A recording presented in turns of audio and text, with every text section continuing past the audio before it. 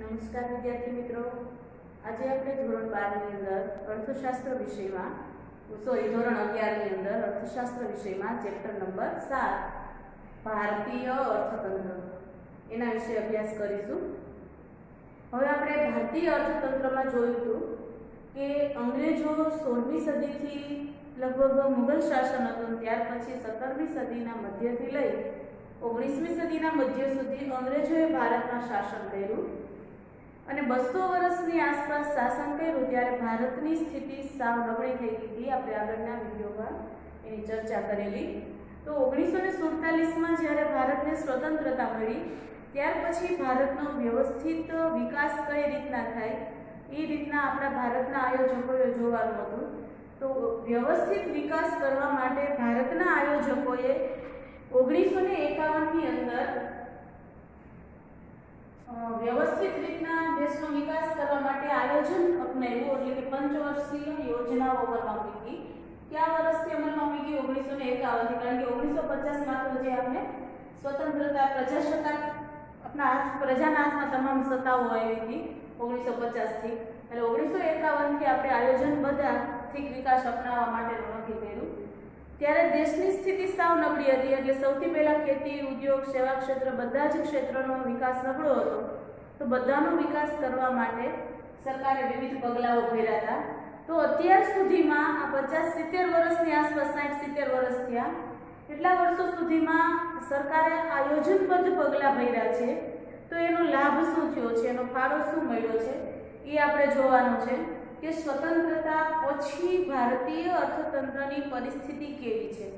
આ પ્રશ્ન પણ તમને પાંચ માર્ક્સમાં પૂછાય છે કે સ્વાતંત્ર્ય પછી ભારતીય અર્થતંત્રની પરિસ્થિતિ વર્ણવો. તો એમાં આપણે સૌથી પહેલાં જોઈએ કે અત્યાર સુધી ભારતની રાષ્ટ્રીય આવક અને માથાદીઠ આવકમાં શું ફેરફાર થયેલો છે? હવે સૌથી પહેલાં પ્રશ્ન ઉદ્ભવે રાષ્ટ્રીય આવક એટલે શું?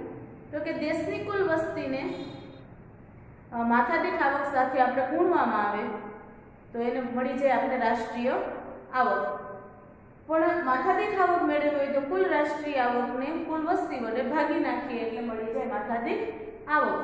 તો આ રાષ્ટ્રીય આવક એટલે શું અને માથાદીઠ આવક એ કેટલી પ્રાપ્ત થાય? આપણે બારમા ધોરણમાં આના વિશે તમારે વધારે વિસ્તારથી અભ્યાસ કરવાનો છે. તો અહીંયા જોઈએ કે વર્ષ ઓગણીસો પચાસ એકાવનની અંદર દેશની અંદર રાષ્ટ્રીય આવક કેટલી હતી?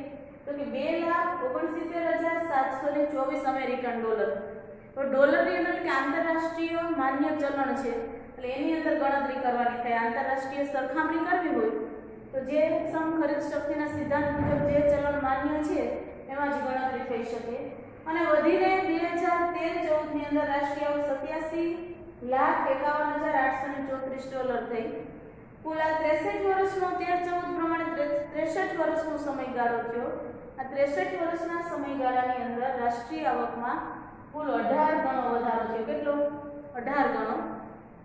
એવી જ રીતના માથાદીઠ આવકમાં પણ વધારો થયો. આપણે જોઈએ કે માથાદીઠ આવક આપણે સ્વતંત્રતા મળી ત્યારે ખૂબ ઓછી હતી, કારણ કે ખેતી ક્ષેત્ર સાવ પડી પડ્યું હતું, ઉદ્યોગ ક્ષેત્રનો વિકાસ નહોતો, સેવા ક્ષેત્રનો નહોતો.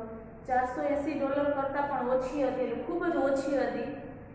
બે હજાર તેર ચૌદમાં થઈ પાંચ હજાર એકસો ને પચાસ ડોલર. આ વ્યક્તિગત આવક સરેરાશ આવક છે. એમાં લગભગ આ ત્રેસઠ વર્ષની અંદર સાતથી દસ ગણો જેટલો વધારો થયો છે. એટલે એક સારી બાબત છે કે રાષ્ટ્રીય આવક વૃદ્ધિ સાથે સાથે માથાદીઠ આવક વધે. માથાદીઠ આવક વધે એટલે દેશના લોકોનું જે જીવન ધોરણ છે એ ઊંચું આવે. ત્યાર પછી ખેતી ક્ષેત્રની કેવી સ્થિતિ છે એ જોઈએ.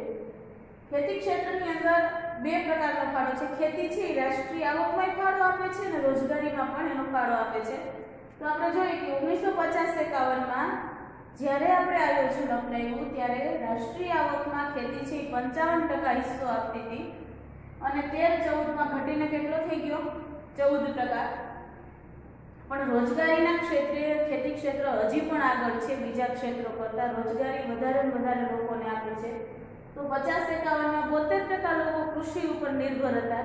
કારણ કે બીજા એકેય ક્ષેત્રનો વિકાસ થયેલો નહોતો કે રોજગારી મળતી નહોતી, એટલે મોટા ભાગના લોકો જે બેકાર હોય બધા ક્યાં રોકાયેલા કૃષિમાં.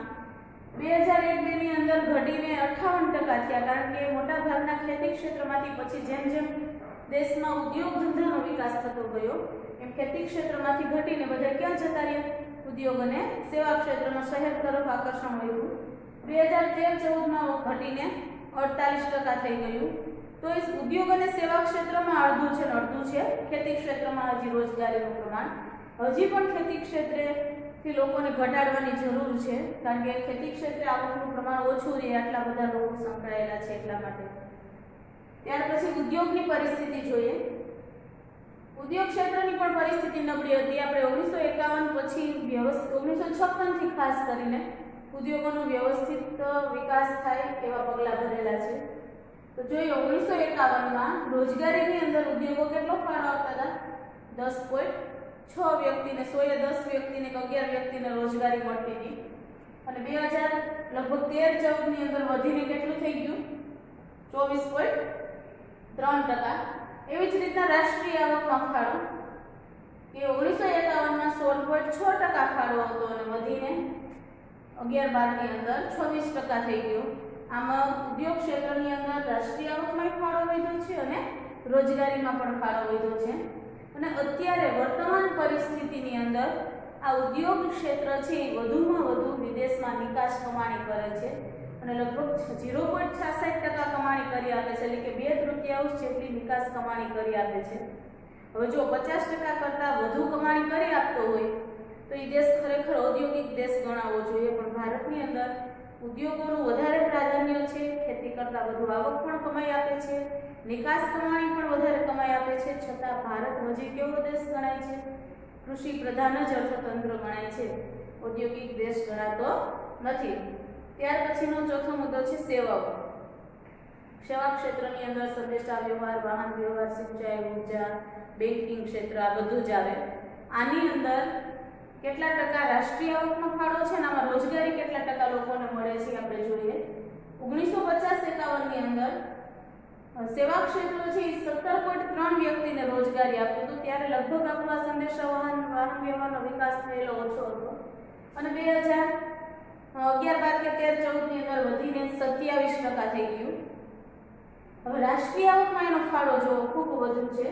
ઓગણીસો પચાસ એકાવનમાં ત્રીસ પોઈન્ટ ત્રણ ટકા ફાળો આપતો હતો અત્યારે અગિયાર, બારમાં ઓગણસાઠ પોઈન્ટ નવ ટકા તમામ ક્ષેત્રો કરતાં અડધાથી વધારે આવકથી આપણે સેવા ક્ષેત્ર જ કમાઈ આપે છે.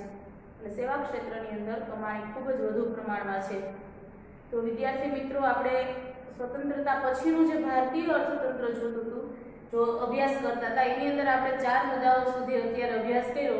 એના પછીના નેક્સ્ટ ચાર મુદ્દા છે, એ આપણે આવતા વિડીયોમાં જોઈશું. Thank you